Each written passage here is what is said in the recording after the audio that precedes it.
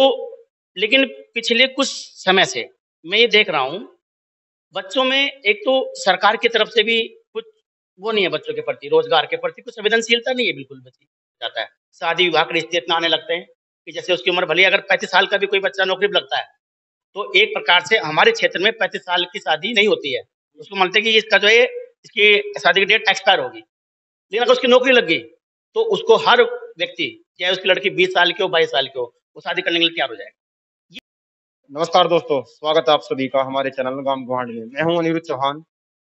जैसा कि आप सब जानते हैं, आज रोज़गार की जिस तरीके से ज़रूरत हर व्यक्ति को लग रही है तो व्यक्ति गाँव छोड़कर शहरों की तरफ़ भाग रहा है ताकि उसे रोज़गार मिले। लेकिन जो शिक्षित वर्ग है, जो बच्चे हैं, जो पढ़ाई कर रहे हैं, उनके लिए बहुत ज़रूरी हो जाता है हर चीज़ में, चाहे वो सामाजिक हो, राजनीतिक हो, या फिर आजकल तो सबसे ज़्यादा जो चिंता का विषय है, वो है इनकी शादियाँ। अगर आप के पास कोई रोज़गार नहीं है और वो भी गवर्नमेंट रोज़गार तो जल्दी से आपकी शादी नहीं होने वाली है, भले ही आपके पास बीस, तीस, पचास बीघा ज़मीन हो। और शामली, जो कि अब हब बन चुका है, चारों तरफ़ यहाँ एक से एक सेंटर खुल रहे हैं, दिल्ली से सीखकर कुछ टीचर यहाँ पर आ रहे हैं, लेकिन उनमें क्या क्वालिटी है, ये तो मुझे नहीं मालूम, लेकिन एक क्वालिटी जो मुझे नज़र आई, खासकर डिस्कवरी में, ये एक सेंटर है शामली में, जो कि संजय सर चला रहे हैं जो कि गाँव कनेला के रहने वाले हैं किसान परिवार से बिलोंग करते हैं। हमने पहले ही बताया था हम केवल और केवल किसान मजदूर वंचितों शोषितों की लड़ाई लड़ते हैं और हमेशा आवाज़ उठाते रहेंगे। तो जो कि किसान परिवार से बिलोंग करते हैं सर स्वागत है आपका हमारे चैनल पर। धन्यवाद बहुत बहुत धन्यवाद। आपके दिमाग में कैसे आया कि मुझे शामली में इस तरह का एक सेंटर खोलना है? सैकड़ों बच्चे आपके यहाँ से पढ़कर रोज़गार पर हैं। मैं बहुत सारे युवाओं से मिला हूँ। आपकी काफ़ी तारीफ़ सुनने को मिलती है चाहे चाहे किसी भी गाँव में चला जाऊँ। सर, देखिए, मैं 2002 में मैंने वो की थी ग्रेजुएशन। उसके बाद मैं इलाहाबाद रहा, लगभग चार पाँच साल।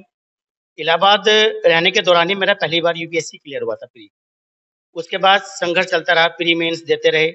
2009 और 2011 में मैंने यूपीएससी का इंटरव्यू दिया है। 11 के बाद जब आई के अटैम्प्ट खत्म हो जाते हैं तो फिर एकदम शून्यता आ जाती है आपके अंदर कि भाई अब क्या करें? कि आई के जब आप लेवल पर तैयारी करते हो तो जो छोटे एग्ज़ाम होते हैं उस पर बैठते नहीं हो। तो 2011 के बाद जब अटैम्प्ट खत्म हो गए तो फिर मैं घर आया। घर में थोड़ा सा पारिवारिक समस्याएँ थी क्योंकि अकेला हूँ परिवार में। इस वजह से घर वाले कहने लगे कि यार कुछ ऐसा काम देख ले, जो जो तो सामाजिक कार्य करना चाहता है, जिसके लिए जो सिविल में जाना चाहता था। तो देख या कुछ ऐसा हो सकता है क्या? तो मेरे पास एक विकल्प था कि मैं कोचिंग कराऊँ। मेरे पास और विकल्प राजस्थान का भी था, डिस्ट्रिक्ट रामपुर पड़ता है, वहाँ का भी था, इलाहाबाद का भी था। लेकिन मैंने अपने डिस्ट्रिक्ट शामली में रहकर ही तैयारी करने की मतलब बच्चों को कराने की सोची। और मुझे लगा कि मैं अपना जो एक्सपीरियंस है मेरा, जो अनुभव किया है मैंने दस बारह साल की तैयारी के दौरान, वो अनुभव मैं बच्चों को बांट सकूँ, बच्चों को दे सकूँ अपना अनुभव। क्योंकि देखो कोचिंग का तो इतना रोल होता है किसी बच्चे की उसमें कि जिस टीचर ने पहले मेहनत करी है, ईमानदारी से मेहनत करी है, वो बच्चे को उपलब्ध करवा सके अपनी मेहनत। ये होता है। टीचर तो एक बीज, एक ऐसा होता है कि वो हर बीज को बराबर वो देता है पानी। उसको हर चीज़ बराबर देता है। अब कौन सा फल, कौन सा बीज पे फल बनेगा, कौन सा बीज बढ़िया होगा, इसमें टीचर की भूमिका इतनी होती है कि वो अपने एक्सपीरियंस को, अपने अनुभव को बच्चों को दे सके। शामली में मैं रहा मैं, शामली में मैंने 2013 से अपना डिस्कवरी कोचिंग इंस्टीट्यूट चला रहा हूँ और तब से लेकर आज तक लगभग हज़ारों बच्चे हैं जो विभिन्न पदों पर काम कर रहे हैं। पुलिस में भी हैं यूपीएसआई में भी हैं, रेलवे में भी हैं और यहाँ तक कि सचिवालय में भी है। एक हमारी जो लड़की थी, यहाँ पढ़ती थी हमारे यहाँ संध्या सेंगल नाम था उसका। वो सचिवालय में समय है यूडीए अपर डिवीज़न क्लर्क में। समीक्षा अधिकारी कहते हैं उसको। तो लेकिन पिछले कुछ समय से मैं ये देख रहा हूँ, बच्चों में एक तो सरकार की तरफ़ से भी कुछ वो नहीं है बच्चों के प्रति, रोज़गार के प्रति कुछ संवेदनशीलता नहीं है बिल्कुल बच्ची। हम नॉर्थ इंडिया और साउथ इंडिया में एक थोड़ा डिफरेंस है कि नॉर्थ इंडिया के लोग सरकारी नौकरी के पीछे बहुत भागते हैं। एक बोलते हैं सामंत की सोच होती है कि सरकारी नौकरी होगा तो आपके पास सब कुछ होगा। आप कितने योग्य हो? मान लीजिए मैंने इंटरव्यू तक दिया आई का, और तो भी लोग ये कहते हैं यार यार, जब जिसका खुद नहीं होगा तो क्या किसको कराएगा? लेकिन हमको पता है कि हमारे अंदर कितनी क्षमताएँ हैं। तो सरकारी नौकरी अगर सिपाही भी है तो उसके भी समाज में सामाजिक सौरकारिता, समाज में उसका सम्मान सम्मान बहुत बढ़ जाता है। शादी विवाह के रिश्ते इतना आने लगते हैं कि जैसे उसकी उम्र भले अगर पैंतीस साल का भी कोई बच्चा नौकरी पर लगता है तो एक प्रकार से हमारे क्षेत्र में पैंतीस साल की शादी नहीं होती है। उसको मानते हैं कि इसका जो है, इसकी शादी की डेट एक्सपायर होगी। लेकिन अगर उसकी नौकरी लग गई तो उसको हर व्यक्ति, चाहे उसकी लड़की बीस साल की हो, बाईस साल की हो, वो शादी करने के लिए तैयार हो जाएगा। ये नौकरी का हमारे यहाँ वो है।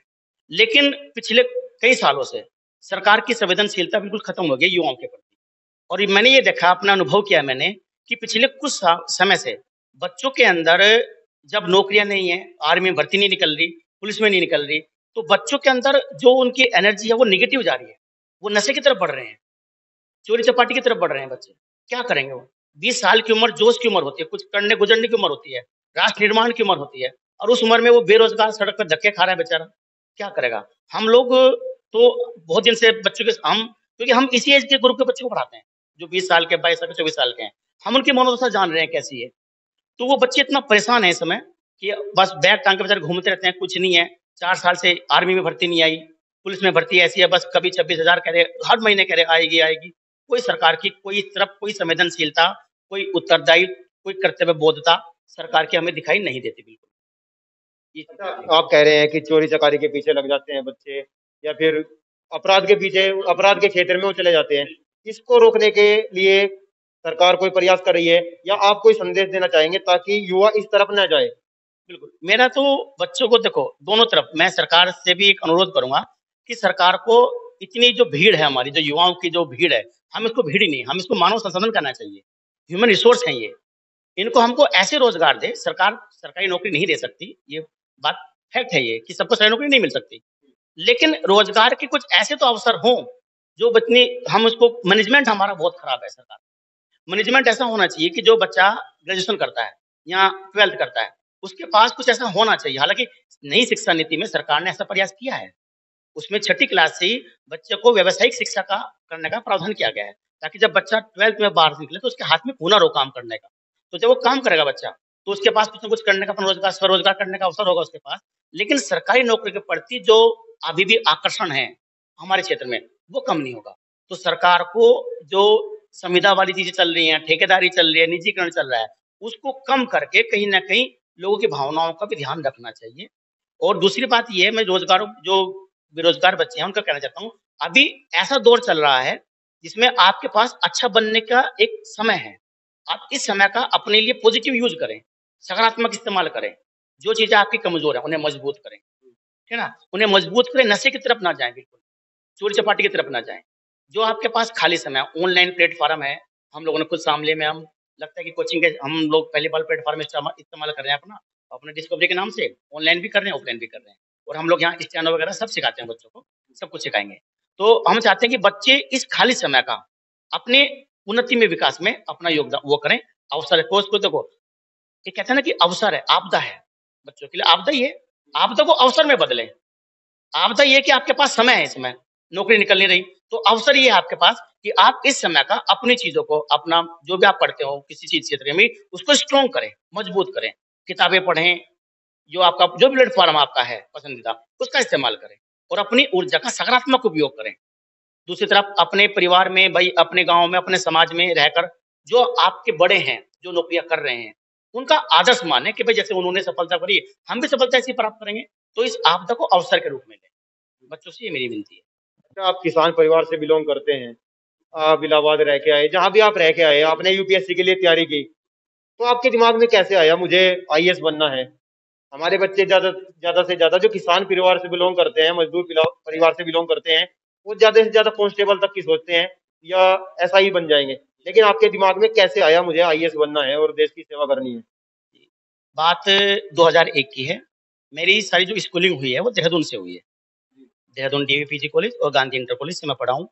तो देहरादून में एक ऐसा शहर है जो एजुकेशन का हब है, बहुत पहले से तो वहाँ हमारा ग्रुप थे कहीं, हम एक बार एक शादी में गए हुए थे।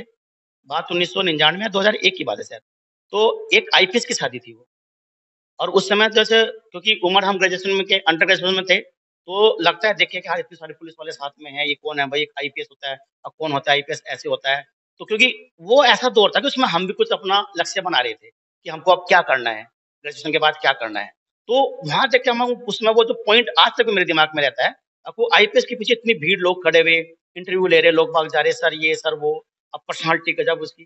तो वहाँ पर कैसे होता है सब होता है तो हमने उनसे बात भी करी उस समय कि, सर, के कैसे आपने कहता उन्होंने बताया कि आप जो मुझसे मतलब अभी थोड़े दिन बाद आके मिलना। तो वहीं पोस्टेड थे तो उनसे फिर हमारी बातचीत हुई थोड़ी तो उन्होंने गाइडलाइन दी। फिर हो क्योंकि जब जिस चीज़ में आदमी जाता है ना तो रास्ते मिलते रहते हैं। और कोई दोस्त मिल गए बहुत सारे। तो उनकी फिर एक हमारे मित्र हैं ओमकार सिंह, सचिवालय में समय सेक्रेटरीट में सचिव है वो। तो वो हमारे गुरु भी हैं, आदर्श भी हमारे। तो वही मुझे इलाहाबाद लेके गए थे, तैयारी कराने के लिए सिविल सर्विस की। तो उन्होंने बात, बातें बताई। क्योंकि देखो, किसान परिवार में रह के तो किसी चीज़ों के बारे में हम नहीं जान सकते। ठीक ना? लेकिन हमारा तो परिवार था, उसमें ताऊ जी हमारे शिक्षित थे तो उनका मुझे बेनिफिट मिला। तो उन्होंने मुझे इस लाइन पर लगाया और मैं इलाहाबाद तो फिर दिल्ली रहा और अब दोनों की ही सम्मिलित ज्ञान जो है, बच्चों को सामने में उपलब्ध करवा रहा हूँ। बहुत बहुत धन्यवाद। जैसा कि आप सब जानते हैं धीरे धीरे रोज़गार की जो समस्या है, और भी बढ़ रही है। दिन प्रतिदिन बढ़ती ही बढ़ती जा रही है। सरकार इस तरफ़ कोई ध्यान नहीं दे रही है। कोई भी सरकार है, इस तरफ़ कोई खास ध्यान नहीं दिया गया है। ना ही तो किसानी की तरफ़, ना ही इनके रोज़गार की तरफ़। अब आप कैसे तैयारी कर सकते हैं? आप कैसे अच्छे से अच्छा रोज़गार पा सकते हैं? इसके लिए शामली में एक सेंटर है, जिसका नाम डिस्कवरी है। अगर आप शामली से बिलोंग करते हैं तो डिस्कवरी पर ज़रूर आए। यहाँ पे डेमो लेकर ज़रूर जाए, ताकि आपको पता लग सके भविष्य में क्या होने वाला है और आपको कैसे पढ़ना चाहिए। धन्यवाद।